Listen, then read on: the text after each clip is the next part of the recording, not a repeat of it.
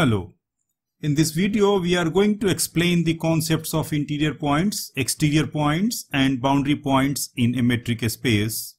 These notions are related to localization of points with regard to a subset in a metric space. As usual, we shall learn all these through definitions, examples, and some remarks. Let us proceed. Please see to the left of your screen. Here we are showing a set E and its subset U. It is easy to see that given a point in E, there are only two positions of a point. Either it is a member of U like P or it is not a member of U like W. Now look to the right side of your screen. In metric space, we accept one additional situation. Here we also recognize the localization of a point on the boundary or border of a set like the point Q. We are also going to give specific names to these points as interior, exterior and boundary points. No prize for guessing that which one is going to be interior, exterior and a boundary point of U. However, in mathematics, for accepting a notion, we always need a robust framework in the form of definition. So let us look the situation more closely. Here you can see that we are trying to draw open spheres with centers at P and W. The important thing is that both the open spheres are not intersecting with the border of U. Can we draw such non-intersecting spheres? Yes, we can. Let us see. If we take the border as the curve gamma, then gamma as a set contains all the points of the border of U. We suppose that D is a metric on P, so this is the metric space ED now we recall the distance between point and a set and you know that dp gamma is the distance of the point P from the curve gamma which is the border of the set U here and we take half of that distance and we take R1 is equal to half of dp gamma. So if we make an open sphere SR1P then that SR1P always have empty intersection with gamma. Similarly, if we take R2 is equal to half of dw gamma, then SR2W intersection gamma is again equal to the empty set. And so it is possible to draw open spheres around P and W such that they are not intersecting with the border of the set. But can we guarantee that sphere SR1P is contained in the set U? And the open sphere SR2W is contained in the complement UC of the set U? Possibly not. But we impose these conditions in the definition and we proceed to the definition part. But before that, a quick look at any open sphere around Q. Now you see any open sphere around Q is going to intersect with U as well as the complement UC of the set U. Now we proceed to the definition part. Now we are showing definitions of interior point, exterior point and boundary point in a metric space. We have taken ED as a metric space, X0 is a point in E and U is a subset of E. We call X0 as an interior point of the set U if we can find an open sphere SRX0 which is a subset of U. This is very important. It is not important that you find an open sphere only. It is more important that you find an open sphere which is a subset of U. Now saying that SRX0 is a subset of U is equivalent to say that SRX0 intersection UC is equal to phi where UC is the complement of U in the metric space E. Now, x0 is an exterior point if you can find an open sphere SRX0 whose intersection with U is equal to the empty set. Or equivalently you can say that SRX0 is a subset of UC where again UC is the complement of U in E. So you have definition of interior point, you have definition of exterior point. Now what is the boundary point? You call x0 as a boundary point of the set U if it is neither an interior point nor an exterior point of U. And hence, you can very easily see that if x0 is a boundary point, then in that case, this relation is going to fail for every r greater than 0 and this relation is also going to fail for every r greater than 0 and hence for all r greater than 0 you are going to have that SRX0 is not a subset of U and also that SRX0 intersection U is not equal to phi. So these are the definitions of interior point, exterior point and boundary point. One more thing to note that SRX0 contains X0 and so if SRX0 is a subset of U then necessarily x0 is an element of U. So if x0 is an interior point, then x0 always is a member of U. But if you talk of exterior point, then SR x0 intersection U is equal to phi. This implies that x0 is never a member of U. However, when x0 is a boundary point, then this relation says that x0 may not be in U, but this relation says that x0 may be in U. So, when x0 is a boundary point, it may be a member of U or it may not be a member of U. Definitely you can't predict anything.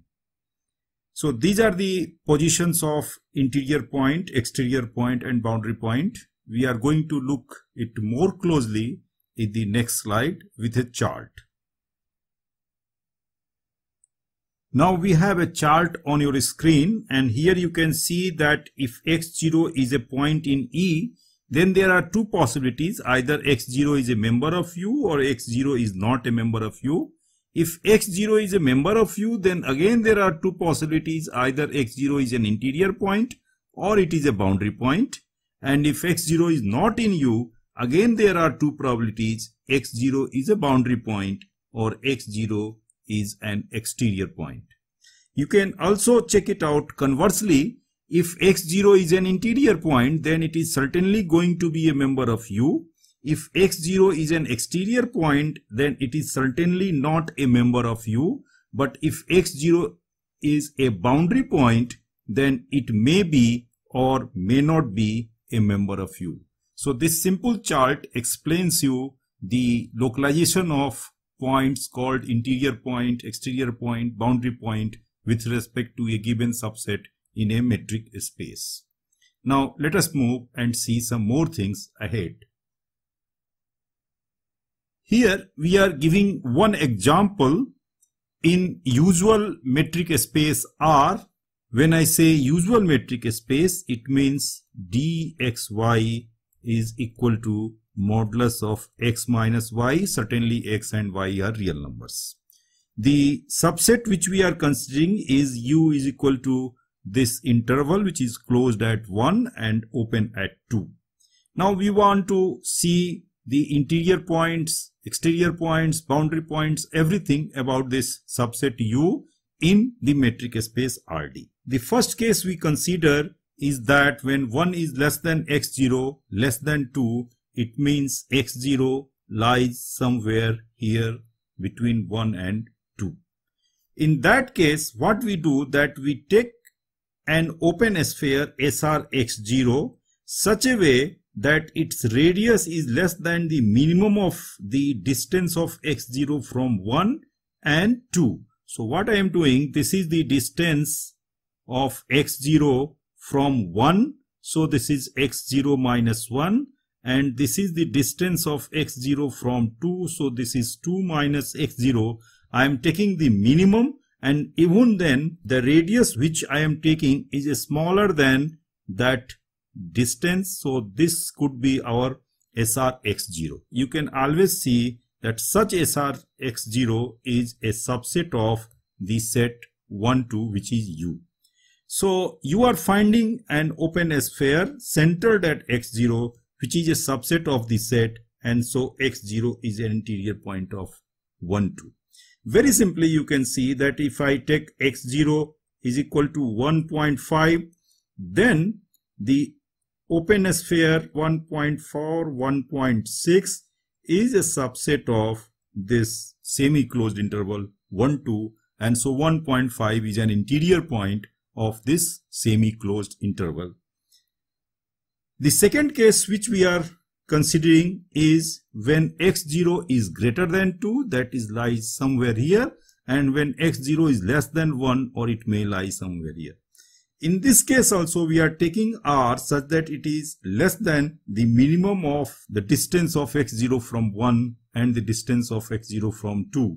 Whatever r you take like that, you always have an open sphere like this such that SRX0 intersection the semi-closed interval 1 2 is equal to phi and so x0 is an exterior point of 1 2. Now let us move and see another case. Here we are considering the case when x0 is equal to 2 so if we see on the real line, then 2 will lie somewhere here. Now for all r greater than 0, if we consider the open sphere SR2, then SR2 is the open interval with endpoints 2 minus R2 plus R. And if we plot it on the real line, then this open sphere is going to be something like this. So this is going to be SR2. So very clearly you can see that this SR2 is not a subset of U. So you are taking any open sphere with center at 2 and you are observing that it is not a subset and so 2 is not an interior point of U. Similarly, you can also observe that for any open sphere SR2 with any radius, if you take the intersection with U, then the intersection is non-empty, giving that 2 is not an exterior point of U. So the point 2 is neither an interior point nor an exterior point of U and hence 2 is a boundary point of U. You can observe that 2 is not a member of the set U which is the semi-closed interval 1 2 here. Now the last case is when x0 is equal to 1. If you proceed as above then you will again find that 1 is a boundary point of U. But in this case, you can observe that 1 belongs to the set semi-closed interval 1, 2. So in this way, you can see that if any point is a boundary point of the set, then it may be a member of the set, it may not be a member of the set. Now we proceed further to see something more. Here we are showing some remarks one is about the discrete metric space. You know that in a discrete metric space for R less than equal to 1, SRC is nothing but the singleton set containing the center C. So based on this fact, you can very easily see that each element of a set U is its interior point because you can always have an open sphere centered at that point with radius less than equal to 1. Similarly, elements of the complement set UC are exterior points of U and you can very easily see that if the sets are having all its point as its interior points and also the complement set is having all the exterior points of the set then the sets cannot have boundary points. So in a discrete metric space, any set has no boundary point. Similarly, in any metric space, not in discrete now, if you consider the empty set phi and the full metric space E, then since all the open spheres are subset of E irrespective of the point x0 in E, each point of E is an interior point of E and an exterior point of phi. And therefore, E and phi have no boundary points in any metric space. These notes are very important which are going to be beneficial for us in defining some sets. You have seen that a set can have many interior points, many exterior points and many boundary points. Based on that, we are going to have another notion and that is of interior, exterior and boundary of a set. The set of all interior points of a set U is called the interior of U and is denoted by or simply interior U. The set of all exterior point of a set U is called exterior of U and it is denoted by XU. And the set of all boundary points of U is called boundary of U and is denoted by partial U or BDRU. So these are very simple definitions. You collect all the interior points, you get the interior of that set. If you collect all the exterior points, you get the exterior of that set. And if you collect all the boundary points of a set, then you get the boundary of the set. But let us see some relation between exterior, interior, boundary and the set itself. Here we are giving you some relationship between the interior, exterior, boundary of a set and the set itself. The first is that the interior of a set is always a subset of the set. So if you have U as a set, then the interior of U is always a subset of U. Now the second thing is delta U or the partial U may not be a subset of U. It means the boundary of a set may not be a subset of U you know that boundary point of a set may or may not lie in a set and therefore the boundary of a set may not be a subset of U. But there could be three positions. What will be those three positions? Let us see. So let we have U like this, the three positions we are trying to show. And so the, the one position is that boundary is a subset of U when all the boundary points are contained in the set. The second is some boundary points are contained in the set and some are out of the set. And the third and last is the boundary is completely disjoint from the set. So these are the three positions of the boundary with respect to a given set. These three positions give you classifications of set. In fact, we are going to discuss these things in detail in the next video. But just I am making a hint that this type of set is going to be called as closed set and this type of set is going to be called as open set and these type of sets are neither open nor closed. Now the third remark which we are putting here is that exterior of U is always disjoint with U. So if you have U here then the exterior of U will always be disjoint from U. And the fourth one is U is a subset of U interior union delta U. You know that all the elements of U are either interior points or boundary points and therefore U is a subset of U interior union boundary. And lastly, you know that every open sphere centered at a boundary point will intersect u as well as the complement of u and therefore you have the boundary of u is same as the boundary of the complement uc. So these are few remarks which are going to play a very important role in our next studies. We are finishing this video with these remarks. Hope you will meet in the next video very soon. Till then, good luck.